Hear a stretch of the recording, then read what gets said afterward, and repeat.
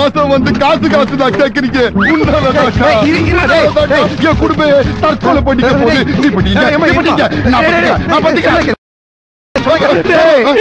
கால என்ன சாவடிக்காதடா. உன் வீட்டு பக்கம் காசு கேட்டு வர மாட்டேன். என்ன விட்டுறா கிளம்புறேன். இப்ப வந்துட்டியே. என் மான மரியாதை எல்லாம் போயிடுச்சு.